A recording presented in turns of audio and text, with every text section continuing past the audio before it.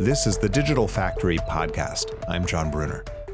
A few years ago, I visited NIST, the National Institute of Standards and Technology, in Gaithersburg, Maryland. I was there to speak at a conference, and afterward, I started wandering around. I found the NIST Museum, which is a cool visit, by the way. It's where they keep things like the resistor that served as the benchmark ohm in the late 19th century. And on my way out, I passed a display case in the lobby that was full of glass vials. Front and center among them, a jar labeled Standard Reference Peanut Butter. I took a picture and posted it to Twitter, where it got a lot of interest. And then I became really intrigued by what turned out to be a very long list of standard reference materials formulated by the federal government. They include a lot of unlikely stuff, like urban dust, Lake Michigan fish tissue, and Lake Superior fish tissue, chlorinated pesticides, domestic sludge, bullets, New Jersey soil, organic contaminants from both smokers and non smokers' urine, whale blubber, fortified breakfast cereal, lead paint, yerba mate leaves, wheat kernels at varying levels of hardness, oil extracted from beach sand following the Deepwater Horizon spill, and of course, peanut butter, complete with a material safety data sheet noting that it is not a hazardous material. It turns out that NIST is a temple of sorts. It turns its eyes to the heavens and discerns the fundamental patterns of nature. It describes the primitive units like the kilogram and the volt. And then it hands down practical definitions and derivations that industry can refer to as it goes about its business. The breadth of this reference material program says something about the breadth and complexity of the American manufacturing landscape. And that's always something that I love encountering. It says that there's a need for standards for all of these things, and that for each of these materials, there are a number of laboratories that specialize in them and businesses that depend on them. That's the subject of today's podcast episode, sort of the epistemology of measurement, how it happens, and what it means for all of us. Before we get into the interview, though, I'd like to remind you that the Digital Factory Conference is coming up on May 7th. You'll want to be there to hear from people like the CEO of Spirit Aerosystems, which fabricates the fuselage of the Boeing 787, and the CEO of Align Technology, which is the largest user of 3D printing in the world, as well as the CIOs of FedEx and Baker Hughes, the CTO of GE, and the head of manufacturing at Ford. All of these people are going to be there to talk about their digital manufacturing strategies, how they're driving their entire businesses through the way they make their products. If you run manufacturing or if you're responsible for R&D or supply chain, you'll want to be in this room to think about how you can lead your business by making the right investments in manufacturing technology. Visit thedigitalfactory.com to learn more about the program. And when you register, use the code PODCAST for a discount. The Digital Factory is supported by Formlabs, which makes powerful, accessible 3D printers that scale from desktop prototyping into full production. My guest today is Steven Choquette.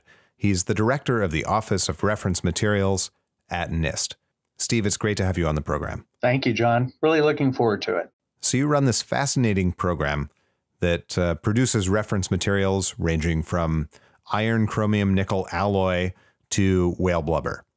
Tell us what this is about. Why is NIST producing these materials and how are they used? Yeah, so, you know, just to back up a little bit, you know, NIST is one of the oldest, is the oldest federal laboratory here, and it was essentially conceived or started to uh, address some some significant challenges in manufacturing, especially with uh, with respect to the railroad industry. So, hmm. at the turn of the century, I mean, 19th century, uh, there were a bunch of railroad uh, derailments because um, inconsistency in, in the way the rails were being uh, alloyed or, hmm. or made.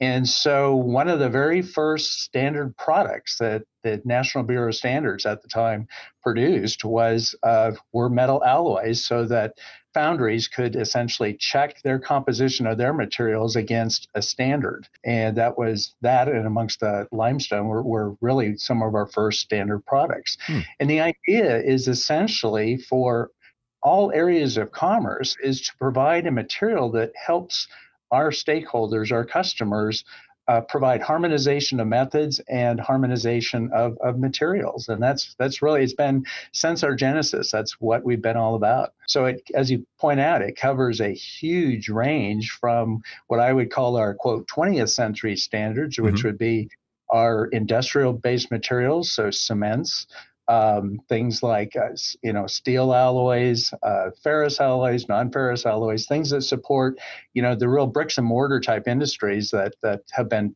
traditional strengths for the U.S. economy.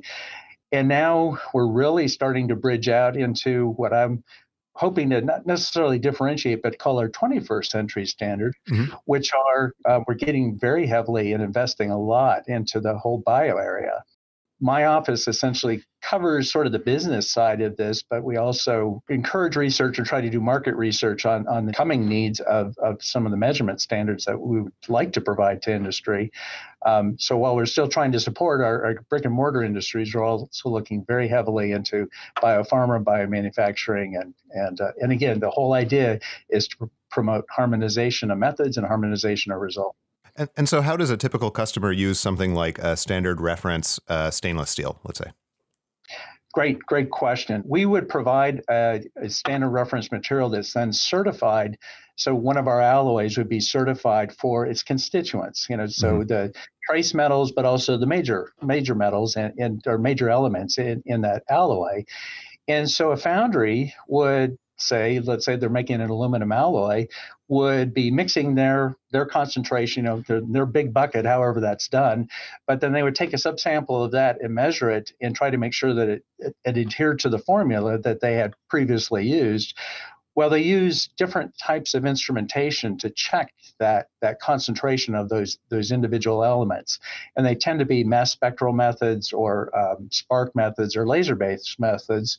Well, again, they want to make sure that their instrument that's doing the checking on their alloy formula alloy formula, formulation, sorry, uh, is correct. And so they use a check standard or mm. a NIST standard reference material um, where they have confidence that we've done it right. Mm-hmm, and, mm-hmm. and, so they can check their results against ours and then correct for any bias in those results. And so it helps them just ensure that what they're making, um, what they're measuring is what they believe to be making. So the reference materials are used to calibrate further instruments sort of down the line. Correct. So we have kind of two flavors of, of standard reference materials. So we have materials that are called primary calibrants, and those are traditionally used to calibrate the instrument itself. So, for instance, you have a very sophisticated mass spectrometer or a um, NMR system or you know, whatever, you know, it doesn't really mm-hmm. matter. Mm-hmm what we would provide is a, a, primary calibration material that would allow you to, to create a calibration curve or somehow calibrate that instrument. But we also provide standard reference materials or reference materials that help you do method validation. Hmm. So, for instance, uh, one of our common things that we sell for environmental measurements are, are standards that help calibrate systems for lead assaying. Mm-hmm, you know, mm-hmm. I want to know how much lead is in this dust or in this paint. Well, I would use what we would call our, our primary calibration solution. It's essentially a solution of lead at a very well known concentration in nitric acid. They would use that to calibrate their instrument, but that doesn't look anything like the sample that mm-hmm, they, mm-hmm. they want to measure, correct? Right? So then they would use another one of our uh, SRMs that would be where we've measured lead in a matrix. So that could be the lead content of orchard leaves, or it could be lead in paint, or mm. it hmm. could be lead in household dust. We have all of those types of reference materials. And those reference materials are then used to help them validate the methods that they use. So, you know, they're taking samples, you know, taking mm-hmm. paint, or they're uh, sampling, you know, uh, water coming out of a drinking fountain, and they want that reference material to look very much like the sample that they're measuring. Mm-hmm. And again, those types of reference materials are really used for, for method validation. and it really provides our customers and our stakeholders with the confidence that they're getting the right measurements. And that's really, I think, at the end of the day, what we're trying to help all of our our stakeholders is to have confidence in their measurements. A lot of our listeners might be familiar with NIST from the work that you're doing on the kilogram and redefining it. Right now, the kilogram is defined statutorily in terms of the mass of a few ingots uh, that are that are sitting in vaults, and and the kilogram is being redefined in terms of natural constants. Your program, though, is all about disseminating actual physical artifacts. So, how do you think about that? What what does that mean in the context of a of a world where we're trying to uh, redefine, you know, measures in terms of physical constants rather than artifacts? And how do you make sure that that there isn't some kind of systemic error at NIST that you're propagating by distributing these artifacts? Let me tease this out a little bit. You said, "How do we know that we're right or there we don't have bias?" Mm-hmm. Uh, and that's that's really an important point. Um, uh, and we do that through international intercomparisons. Hmm. And so the whole point of standardizing the seven SI units in terms of physical constants is that it allows essentially us to to make you know the physics side of our shop to make exquisitely exquisitely accurate and precise measurements of these physical constants which then we declare that's the number mm-hmm, right mm-hmm. Every, every every other national metrology institute of which NIST is there's only one in each each country uses that number now then it's up to the individual NMIs national metrology institutes to figure out a way to how do we actually disseminate that to our customers so if for instance uh, for the kilogram you know if i'm talking to the local grocery store guy and saying calibrate my balance i'm, I'm not going to refer him to planck's constant uh-huh, uh-huh, uh-huh. so we do that through how do we disseminate that measurement service you know so we've got this this this this ideal planck's constant or boltzmann's uh, constant uh, you know that, uh-huh. that helps define volts current, uh, light, weight, and stuff. And that that's great at the international level where we can spend, you know, and, and you probably know this better than I, but you know, we spent almost 20 years trying to redefine the kilogram, right? Mm-hmm, and so mm-hmm. that's a lot of lot of discussions between all the NMIs on on what that number is going to be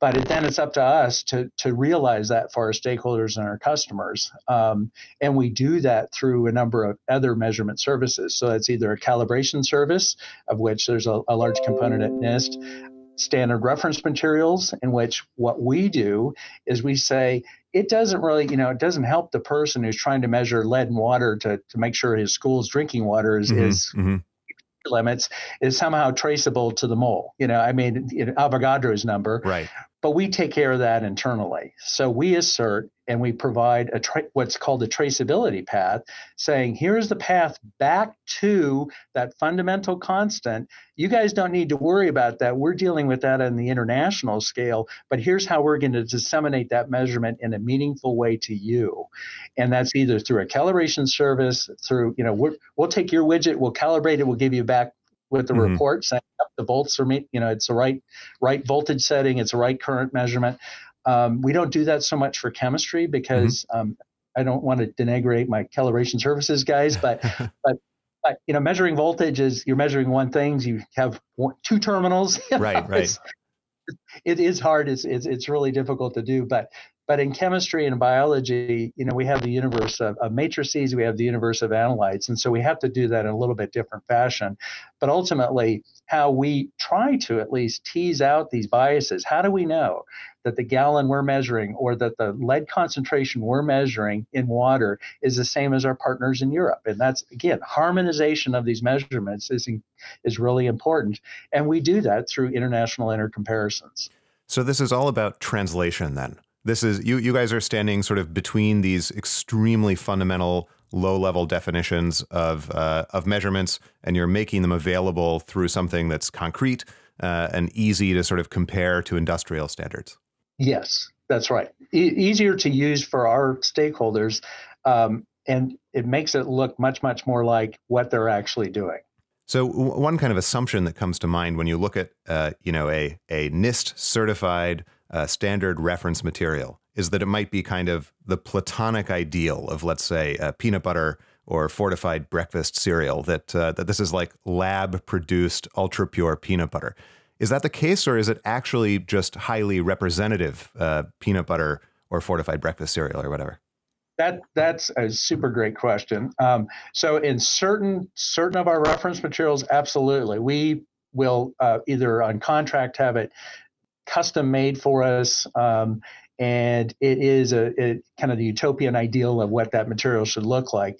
In the cases of our dietary supplements or our food products like peanut butter or, uh, as you mentioned, some of the Ginkgo you know, mm-hmm. echinacea mm-hmm. type SRMs or reference materials have, no, those are in fact collected well, let me back up and just say we have a huge, huge collaboration and program uh, with the Infant Nutritional Formula Manufacturers Association, mm-hmm. and they're providing us with actual off-the-shelf material. It looks exactly, it in fact is produced exactly in the same fashion. Hmm. So the peanut butter is peanut butter, spam is spam, uh-huh, or, uh-huh. you know, it, it's no different. It's just a lot more expensive, but right, right, it is exactly the same for those kind of products. It's exactly the same as what the consumer would be using, and that's really important for the testing laboratories because um, you know, if we were to produce something that, you know, was easier for us to measure, that's really not helping our stakeholders and our customers. They, you know, they've got to, they have to to assert, you know, when they put a label on on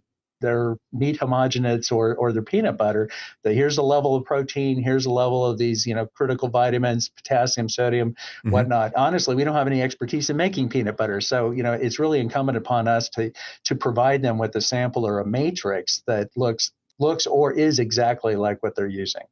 It's right. a complex world, and they have to measure it, and so you have to give them standard references that uh, reflect that. Correct, absolutely. How different does uh, your instrumentation look than uh, what you would find in an industrial lab for any of these materials? Are you using yeah. instrumentation that's two orders of magnitude more expensive and more sophisticated, or or is it the method at the heart of it that's really salient? So, you know, that's a great another great question. When I first came here, 100 years ago, you know, a long, long, long time ago, 1986.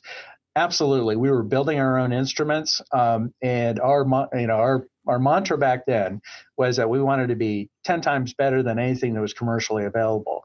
And I think we're still doing that for some of our uber sophisticated physics experiments, uh, you know, Bose-Einstein condensates and that kind of mm-hmm. stuff. Mm-hmm. But for analytical measurements, no, we're in fact using state-of-the-art but commercially available equipment.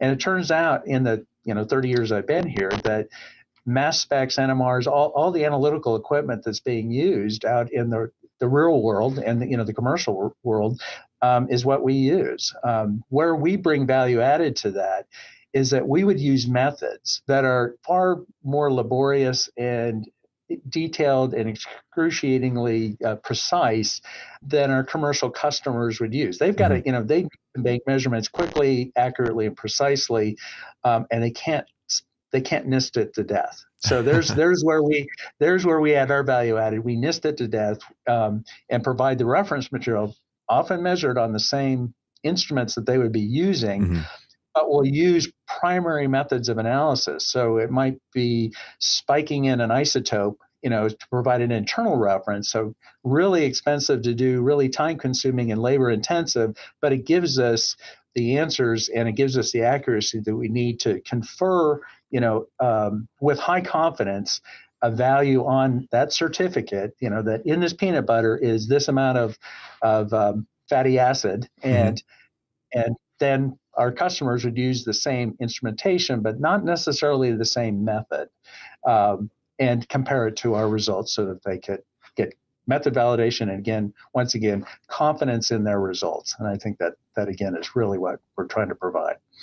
What kinds of changes have you seen in the way that your industry partners uh, work in the time that you've been at NIST? Has the instrumentation changed enough that they've really been able to upgrade what they do on their end? Uh, has has a cultural change happened in the way that they feel about the precision of their of their work? The biggest change that I've seen, it is what it is. I mean, it is that when I first started at NIST, most of the people, most of my stakeholders that I was talk, were talking to were PhD analytical chemists. You know, mm-hmm. published. Mm-hmm. Um, peers, you know, people like me. And now, uh, in a lot of companies, especially in the emerging industries like the cannabis industry, you know, dietary supplements, um, hugely important industries for for us to provide again measurement assurance. You mm-hmm. know, we, mm-hmm. um, but a lot of those folks that are doing the uh, at the bench doing the analytical measurements are um, are you know BS level chemists uh, sometimes, uh, mm-hmm. sometimes not. So, mm-hmm. so that that difference in kind of training level, um, and again, they're they're responding to the the economic needs of the company. They need to be able to make measurements. They need to be able to make them accurately. More, more to probably in you know case of cannabis or the dietary supplements industry would be to respond to uh, regulatory uh, demands. Mm-hmm. So that's that's one thing. But also, I think, at least my it's my impression that that now there's a lot more pressure on companies um, and, and consequently on us to get out reference materials that are matrix specific or uh, um, that help validate methods in a much quicker turnaround time. So, mm-hmm. past we've had, you know, honestly, our average for producing an SRM because we want to get it right mm-hmm. is on the order of five or six years. Oh wow. And, you know, and we really just can't follow that model anymore. Um, so we're really trying to implement changes so that we can be much more responsive to, to our customers and to our stakeholders um, and provide them again with with meaningful reference materials but in a much shorter time frame so so yeah it, it has changed quite a bit um, I, would say. That change in kind of level of experience resonates with uh, some of the areas we often talk about on this podcast, more related to manufacturing, um, which has become more accessible to a broader range of people in the last few years as it's kind of digitized, as certain things have become commoditized. And so that's something you often hear um, in uh, in other parts of industry that you know your your partners always used to be professional uh, engineers with a specific background in some field who have worked for a big industrial company for 30 years and have this kind of approach to it and now you have you know bachelor's level or or perhaps even kind of autodidacts who have taught themselves right. how to do some kind of say industrial automation or or a new fabrication process or something like that. So it's uh, that's that's really interesting. That's something you see all over the place. Yeah yeah. Good point. So tell us a little bit about the process for developing a new reference material. Uh, you mentioned it takes uh, five to six years sometimes but how how do you enter that pipeline? Do you have a, a list of uh, the materials that you think you ought to produce, a list of the materials that industry requests? How do you put in a request for, for a new SRM? Yeah, great, great question. Um, so uh, it's it's a little all over the, the map. There's mm-hmm. a there's a lot of different ways, but essentially it is it's it's marketing. You know, and it is we attend conferences, and that's where essentially um, you know, we have a very, very deep technical base here at NIST is, is in bio and chemistry and in the physics side. And most of our technical champions for producing these reference materials are attending conferences, they're in stakeholder groups. We interact with the FDA uh, and USDA constantly, um, our other government partners.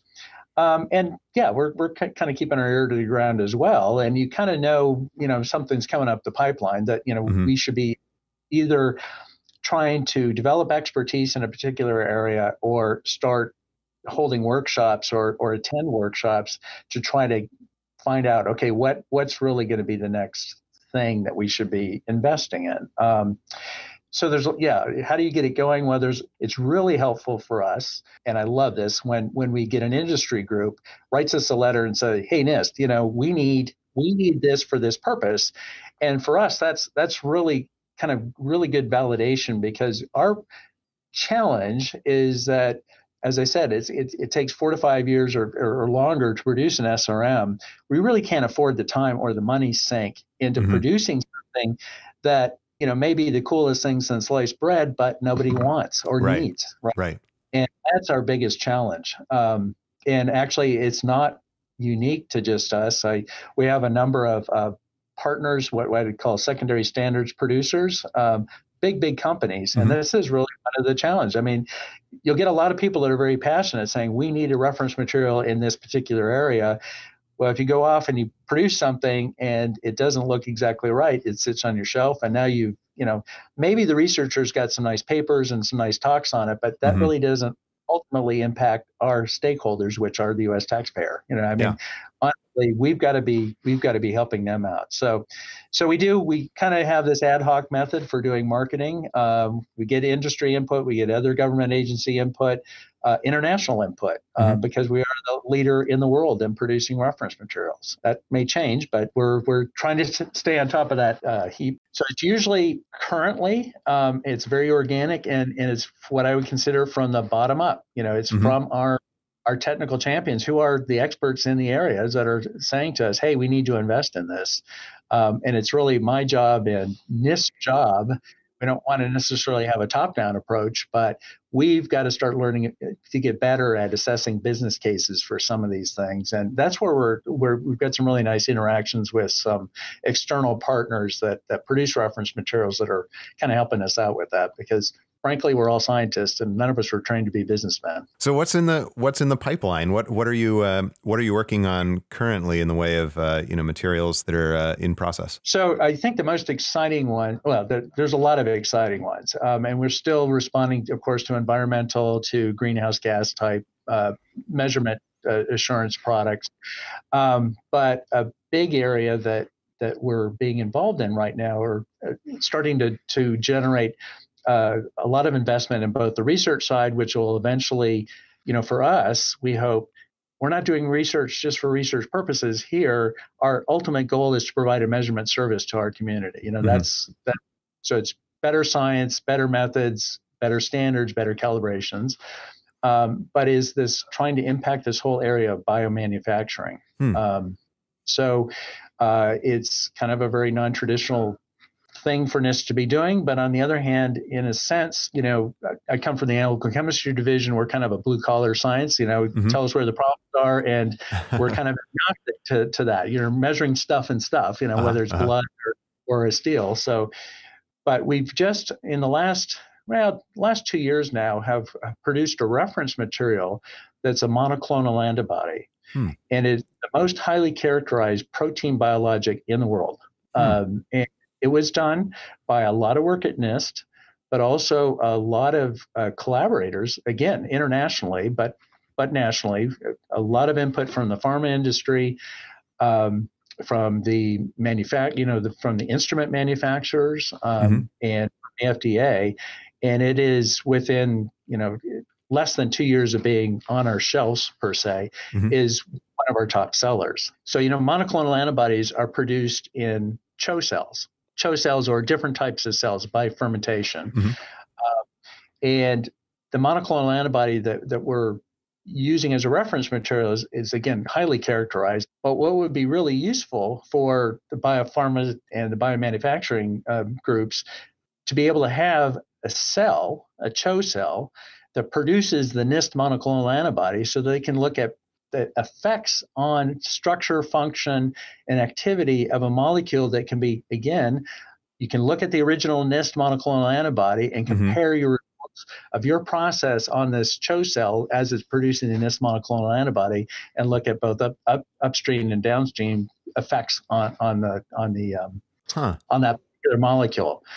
So we think that that's just in its infancy right now, um, and it's going to get us into this whole concept of uh, which is crazy to even be saying it. Maybe is there such a thing as a standard cell? We're not sure. We've got you know very important and interesting, I think, uh, research areas in, in engineering biology right now. Bio is going to be the 21st century economy. So, again, looking at trying to to provide materials that help uh, harmonization of measurement results across different platforms. And right. that could be a voltmeter or it could be a biofermenter you know right so right, right. i think the biological products are, are really going to be exciting um, and highly impactful so we've got different monoclonal antibodies that are going to be eventually come out um, we're also um, hoping this year uh, uh, one of the, the the big issues with with uh, protein biologics um, and this is really not my area but i'll talk about it you know, I do this all the time. Yeah. Yeah. Right. Is the um, is this whole concept of biosimilars? You know, the mm-hmm. the protein, the, the the originator molecule, as you know, are really expensive to produce. Take a lot of you know intellectual property to make, you know, a, mm-hmm. a protein biologic that's specific and and impacts a, a particular disease. And you know, both Europe and the U.S. would love to be able to say, you know, after the the original the originator has exercised their patent rights and and that's uh, that's expired, that they would love to create this whole generic market, mm-hmm, you know, mm-hmm. and they're called biosimilars. It's a huge and incredibly difficult problem because you know small molecules that cure asthma or something like that are easy to chemically synthesize. Mm-hmm, Protein mm-hmm. biologics, which might have molecular weights of upwards of 150,000, have all sorts of different structural characteristics that aren't necessarily present in small molecules that impact the efficacy of treatment. Mm-hmm. And and so it's hugely important, especially because these are drugs are are, are uh, not orally taken but injected right into your bloodstream, mm-hmm. right? Mm-hmm. Um, that both the secondary and tertiary structures are are the same, and the glycosylation, so the the sugars that get attached to the proteins post translation, are exactly the same. Mm-hmm. That's a huge measurement science challenge for everyone. I mean, there really are no good ways of doing it. So, one of the materials that we'll be coming out with very soon is essentially 12, 12 to 15 pure glycans that would be in solution. So it, again, it's mm. kind of tearing it down to the primary calibration thing, saying, all right, we know our monoclonal antibody A has this glycosylation pattern and it's got these particular glycans on it. That's hard enough to figure out. We're going to provide them with solutions of pure materials that will enable them to quantitate what's present. And then eventually, we hope through advanced measurement techniques to actually locate them mm-hmm. on, on the model but, but we're taking baby steps right now. So, um, so the biologics, I think, are, are where we're trying to kind of steer the ship a little bit. You know, it's a big, the SRM portfolio is, is big, uh, mm-hmm. and it's you know 1,200 materials, um, and it's like you said, classically based in what I would consider our 20th century economy. But we're really trying to make investments in the new bioeconomy things and try to anticipate both in the biomanufacturing segments and the health and clinical segments of, of where we'd like to be or we think the industry needs to be in 10, 10 to 15 years. Let me see if I can sort of characterize some of the technical challenge that you just mentioned, because I think it, it's really significant that in a lot of kind of uh, analytical chemistry and indeed in the conventional pharmaceutical industry, what you're characterizing is a molecule of some sort that's the resulting molecule in the product. Whereas in these modern biology fields, you're characterizing processes, right? And, and a cell that that synthesizes something, and so you, there's a deeper characterization problem. Is that kind of the the gist? Yeah, that's that's correct. Right, it, and it's just it's so much more complicated because again, these proteins are so much bigger, you know, mm-hmm. molecular weight, um, and the activity. Uh, and the efficacy of that product for again curing a disease state are based on not just chemical reactions, but how it physically interacts. You know, these molecules aren't what we consider pure. I mean, they're not homogeneous. There mm-hmm. can be a diversity of, of the, the, the glycosylation pattern, for instance, or the charge charges on these particular molecules. And so, so yeah, so it is you're you're growing them in living systems. Um, what you're feeding them makes a big difference. Mm-hmm, mm-hmm. They're not alive, you know, they're not alive when they're a medicine, but but it's that whole upstream process of making these things that impacts ultimately what you get in the end right right right we're trying to develop ways to characterize that or help characterize that all the way through the pipeline so I want to come back to, to something you've mentioned a couple of times, uh, which is the international community of uh, metrology institutes. Right. How do you work with the other international metrology institutes when you when you come up with a standard of some sort? Yeah, no, that's a, another really great point. Actually, it's a really cogent point uh-huh. because uh-huh. we're wrestling with that right now. Again, kind of amazing history. This all started with Napoleon, you know, and um, essentially they were trying to say, you know, a gallon should be a gallon, a meter should be a meter. Mm-hmm, mm-hmm. And so there was a treaty organization created in Paris, um, and in the late, I think, 1700s or mm-hmm. early 1800s. It's the Treaty of the Meter, you know, and so that's essentially morphed into um, the whole uh, what we call the CIPM. It's the it's in French, but it's the mm-hmm. International Weights and Measures Treaty Convention, and that's where all the again all the seven units of the SI, you know, length, mm-hmm. voltage, current, and now mass, uh, you know, which is mm-hmm. where chemistry into, um, where all the NMIs essentially gather in trade notes. Mm-hmm. Um, for us, it's a little bit different than than voltage or length or speed of light. So in the CCQM, that's the Consultative Committee for Quantitation of Mass, but it's mm-hmm. in French.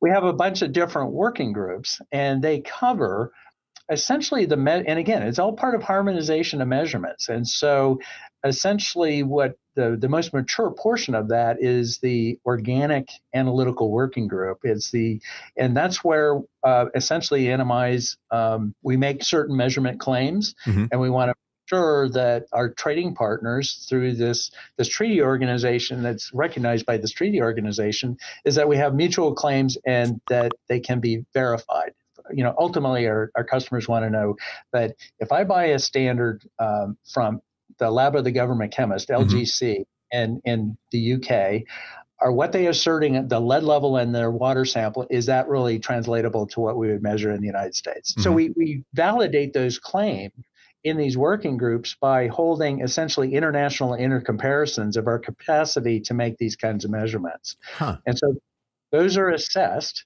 um, and so it's it's kind of a, sort of fun, but it's very challenging in the sense that um, one lab will agree to let's say we're going to send out a blind study, mm-hmm. and it can be a reference material that we produce. And you know, it's and everyone of course agrees that it, it should be um, you know it's what the matrix is going to be, what the analyte is going to be. Mm-hmm. Uh, but then essentially the NMIs get together, they do those key comparison measurements, they compile the results, and then we intercompare, see how each everyone did against each other's results, and that's how we ensure we catch. You know, if there are lapses of expertise, which is really challenging for you know if you've been doing something for 30 years, people retire. You know, uh-huh, and uh-huh. it's really really kind of important that we continue to do this effort, but it's very time consuming and it's really expensive. And so we're really struggling with that, especially um, as our portfolio grows. Mm-hmm. How do you continue to make new products, but then continue to essentially demonstrate either to the world or to yourself or to your stakeholders that you still have the competence and the capacity to make those measurements and that they're intercomparable with the other national metrology institutes.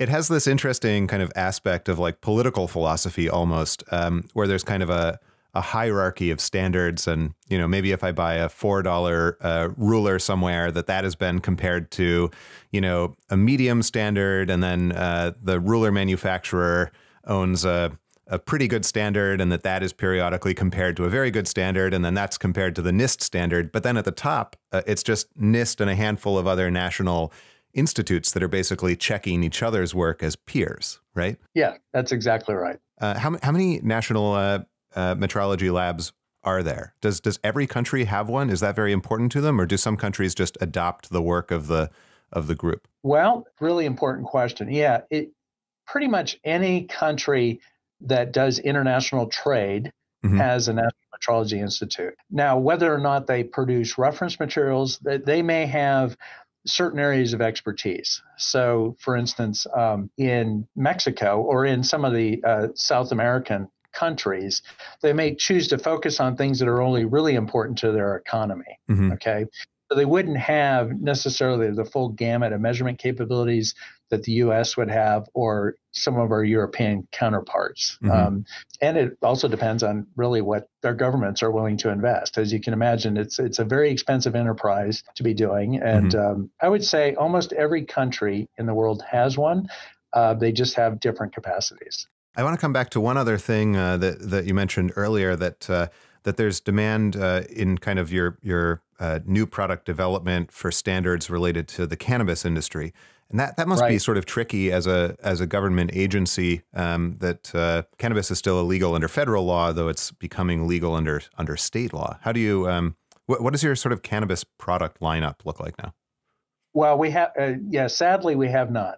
Mm-hmm. Um, but um, and and again, that's kind of a manpower issue on our end. Um, but we see, or at least I see, that there's going to be incredible demand, uh, mm-hmm. especially if you look at California. You know, mm-hmm. California has enacted, I think it's like 48 pages of regulations re- with, related to essentially distribution, me, you know, again, quality and measurement assurance of both potency, but heavy metal uh, residues, pesticides, um, things that can cause significant potentially health threats, down to the sampling and and and other other things. So you're right. It is. I think it's a challenge. Um, our challenge is not so much from federal regulations. I, I believe it's it's really we've got we're kind of spread way too thin uh-huh, uh-huh. on a number of our other things, but it's it's clearly going to be a growth industry and one in which I think right now you're seeing a lot of the instrument companies, you know, mm-hmm. uh, uh, getting involved and producing,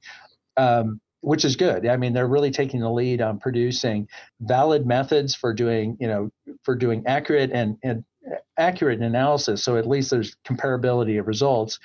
And there are other commercial standards labs, secondary mm-hmm. standards mm-hmm. are trying to address that market. But you know, in the sense we can kind of support things, you know, like pesticide residues, for instance. We do have SRMs that have you know pesticide concentrations on orchard leaves or apple leaves or pear leaves. Mm-hmm. Comparable substances may you know uh, different matrices a, a little bit, but um, so yeah, I would I would like us to get it uh, more involved in that, um, but it's just we'd really just kind of have a bandwidth limit yeah. in, in our own chemistry capabilities. So it's right now, I think in it not in the cannabis area, but we're partnering with the FDA on, on supporting materials that might be used to support future legislation on constituents in tobacco smoke or mm-hmm. tobacco mm-hmm. vaping, you know, mm-hmm. e-vaping mm-hmm. type things. There, we don't have to worry about. I mean, of course, it's regulated, but there's it's not illegal to use the cannabis industry is just fascinating in that it has been a large industry for a long time, but is only recently a legitimate industry with uh, right. with the capacity to do the kind of sophisticated uh, measurement, characterization, and sort of response to regulation and so on that, that you're describing. So it's it's basically got to come out of nowhere in a, in the course of just a few years. Yeah, yeah.